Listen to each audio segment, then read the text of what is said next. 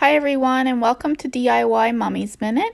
Today I just want to show you a quick video on how to add a color of pop to your front porch or your front door. It's very easy. All you need is four placemats. These were purchased at Dollarama and we're just going to hot glue them all together. And this is going to create a layered mat. So it's going to go on the bottom of your actual front door mat. And this adds a beautiful pop of red to my front door. Happy holidays, everyone. I hope you enjoyed this video.